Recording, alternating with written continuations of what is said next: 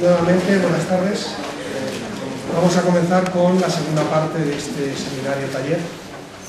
Ya después de haber tomado el cafecito, la agüita, y yo creo que ya estáis con fuerzas. Bien, el segundo de, los, de las personas que os va a transmitir la experiencia suya es eh, Jesús Navarro, Jesús Navarro Alberola. Eh, tiene 51 años, eso me pone aquí, casado con, con, dos hijos y es director general de la empresa ProAliment, más conocida por todos, evidentemente, por su marca insignia, que es Carmencita. Eh, la empresa ProAliment Jesús Navarro, sociedad anónima, fue fundada por su abuelo Novelda en el año 1919. Esta compañía de alimentación es la que lidera el sector de las especias, los postres en polvo y las especialidades vegetales con marcas como Carmencita, Mandarín y Amalur, entre otras. En cuanto a su currículum personal, para que sepáis de quién estamos hablando, inició empresariales, precisamente lo que estáis estudiando bastantes de vosotros, en la Escuela de Comercio de Alicante, estudios que tuvo que interrumpir cuando se tuvo que incorporar precisamente a la empresa en el año 1982. Ha desarrollado todo tipo de actividades en la compañía hasta responsabilizarse de la dirección general que es el que ocupa actualmente. Eh, con una cuota de mercado del 37%, digo para que sepamos la importancia de una empresa, como ya os comenté, de carácter familiar en sus inicios, Carmencita es la marca principal y también exporta sus productos a más de 30 países con la estrategia de ser la marca líder del sabor en España y líder del sabor español en el resto del mundo. En febrero de 2004 se incorporó como vocal al Consejo de Administración de la Caja de Ahorros del Mediterráneo, del que lo hemos tenido que rescatar esta tarde, a ver qué es más importante, la CAM o la universidad, lógicamente la universidad. También es miembro de la Asociación Valenciana de Empresarios, formó parte de varios comités, entre ellos el Comité de la Reforma del Estatuto de Autonomía de la Comunidad Valenciana, y ha participado además como comerciante en muchos foros, en muchos eventos, en muchas otras universidades, e incluso aquí también en la propia Universidad de Alicante, en otros, en otros actos, la Escuela de Negocios, el Club de Información, etcétera, etcétera. En diciembre del año 2005 fue nombrado también consejero de la Bolsa de Valencia y ha impartido clases como profesor en el curso 15 por 15 junto a otros 14 empresarios destacados de la comunidad valenciana. Yo creo que con todo este bagaje, lo poco o mucho, que yo creo que va a ser mucho, que os pueda transmitir Jesús, os va a servir desde luego de, mucha, de mucha, utilidad. Sin más palabras, Jesús. Buenas tardes a todos. Con diferentes colores, rojo, verde de las hierbas, la pimienta, marrón, los transformadores. y forma parte de, de, este, de este nuevo packaging, estas, estos dos, estos tres ejemplos, donde veis que eh, es muy fácil, es la marca, el nombre del producto y, y solo un arte. Cuanto menos, menos es más. Aquí se ve. Bueno, como ya veis, ya finalizó con la foto de capacidad y de iniciar, como no murió en 2006 y, y esta foto demuestra que, que la empresa era, era una persona es humana porque era una persona de la era una mujer muy sencilla, muy cocinera y que nos dio un ejemplo a todos de, de lo que es vivir con humildad, con sencillez y, y así fue. Y nada, ya está.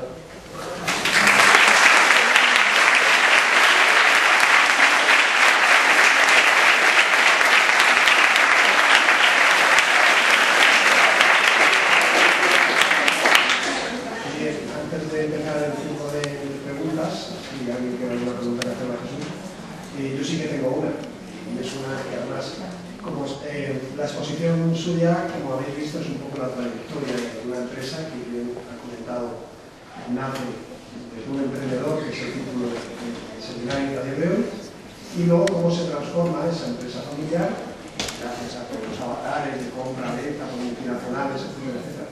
Pero yo creo que hay un tema que sí que me gustaría que nos transmitiera, y es eh, cómo se vive desde una empresa familiar, pero que está innovando continuamente, la crisis que estamos viviendo actualmente.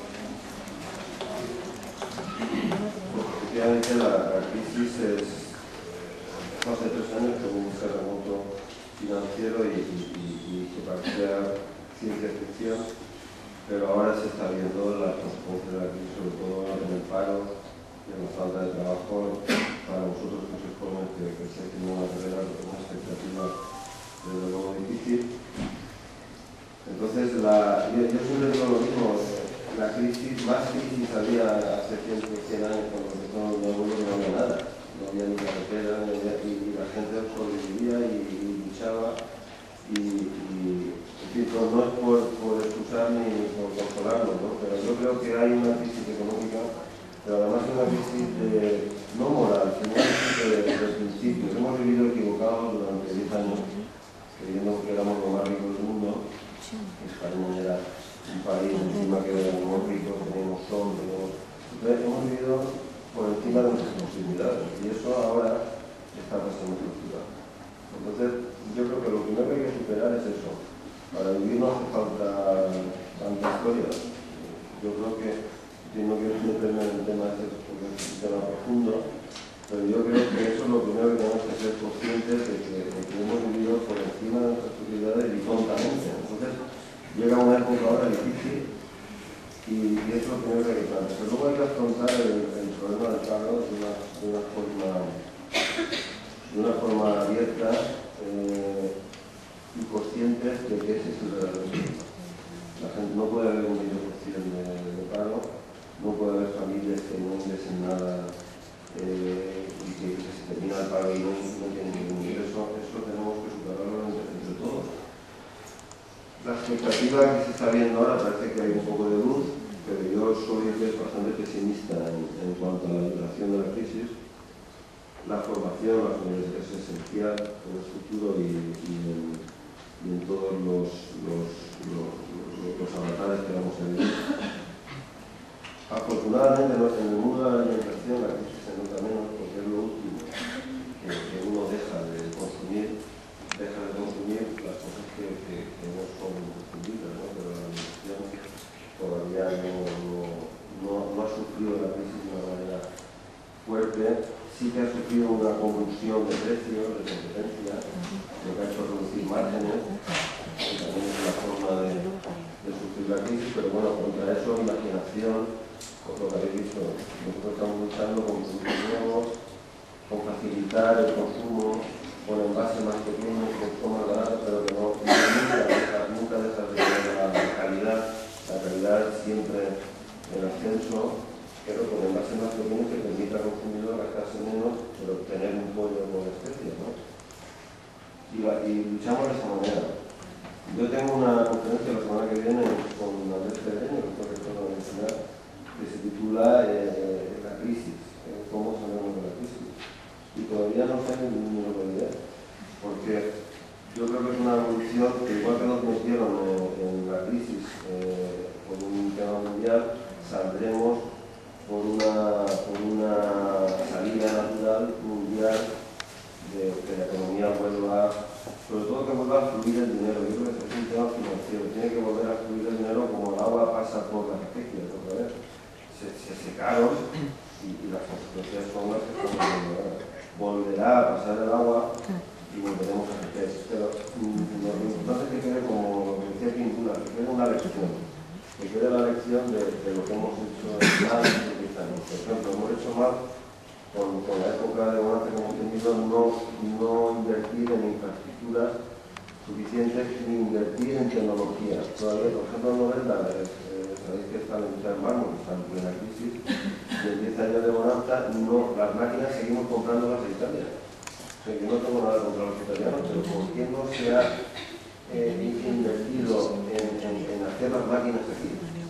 nos hemos dedicado a comprarlas, cortar el árbol y venderlo sin, preocuparnos porque como había abundancia, no, eso es un gran error que lo estamos pagando ahora. Y esa es la, la historia. ¿Alguna pregunta para Jesús? Desde el punto de vista personal, eh, cuando te des la responsabilidad de, de llevar las reinas de la empresa, del negocio familiar, ¿cómo, cómo las asumas personas personalmente? ¿Qué, es- qué supone para ti toda esa... Hombre, es, la verdad es que es, es una responsabilidad, sobre todo cuando ves los que y me la puedes cagar, ¿no? No, entonces, después también es un, nosotros somos la tercera generación y, y es un problema porque nunca, por mucho bien que lo hagas, nunca lo has hecho tú. Es una cosa que hay que superar, las generaciones, los, los que se incorporáis a más como yo aquí, ya hecha, tienes el problema, tienes muchas ventajas, pero tienes el problema, nunca eres tú, siempre lo ha hecho tu abuelo, tu padre, entonces, por muy bien que lo hagas, bien, lo has mantenido, y eso hay que superarlo. Vienen traumas y vienen problemas personales, de, como tú decías, de, ver que tú no eres el, el, el, el iniciador, ¿no? Yo siempre he dicho que, que, que mi, mi abuelo en este caso, y yo lo reconocerlo, aunque ya era mayor, pues son verdaderos monstruos. Son los creadores de la empresa, son, o sea, son verdaderos monstruos que es muy difícil estar a su lado. La, la, la segunda generación, en este caso mi padre, mis tíos, que estuvieron con él, lo, pasaron peor que nosotros, porque están con el verdadero creador y, ese hombre lo ha pasado tan mal que es, muy duro en todos los aspectos. ¿no? La tercera generación ya se va suavizando eso y tienes la responsabilidad de no, de hundir una empresa que está ahí tanto tiempo. Eso es una carga que hay que superarla, eh, pensar que es lo que te ha tocado y luego por supuesto luchar para, para que la empresa crezca y se consolide cada vez más. Pero es un problema, es un problema personal superar eso. ¿Y cómo se separa la familia y el, y el negocio? Cuando vas a tu casa, al final es tu padre el que está en la mesa comiendo cuando a lo mejor has tenido una... Un problema, otro problema más. Sí, sí. No sé si es como con la carga que haces, tú lo vives igual, ¿no? Es un problema. Yo con mi padre, mi padre tiene 83 años, no hay manera de hablar. Todavía no he logrado hablar con él todo el mundo dice lo mismo. Habla porque luego desaparecerá y te arrepentirás. Pero es muy duro, muy duro, porque eh, efectivamente nunca cortas el trabajo es con 24 horas, que es otra cosa que hay que asumir. Yo cuando digo a alguien, no, no, yo me voy al trabajo y corto y me dejo todo, joder, que es fuerte y que, es imposible. En, en el caso nuestro es imposible. Los fines, yo me voy a spinning con, con Juanma y, y- estoy pensando en, Ahora mismo yo he hecho una... Tengo la sensación de haberlo hecho mal hoy, porque estoy tengo nervioso de un consejo. tenemos unos árabes que mañana están aquí yo no he cortado lo suficiente, ¿no? Pero verdad, tengo, yo pido perdón porque quizás no es mi mejor día, precisamente por lo que tú preguntabas. No puedes cortar. Estoy hablando y estaba pensando en, en- en lo que he vivido ahora en el Consejo de la Cámara, mañana lo dijo Federico, el director general, eh, ha cambiado el director general después de 10 años, y no, no pasa nada, que es un cambio natural, pero, pero es una convulsión y y no llegas a cortar nunca, ni siquiera estando entre vosotros, lo cual es un me da pena. Así que hay que repetirlo otra vez. Venga, preguntar si me saco ahora que me está bien.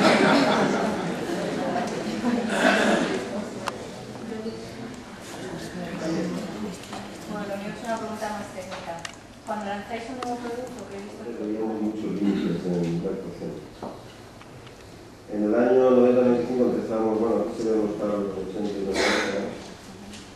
Y aquí empieza la verdadera, la verdadera revolución.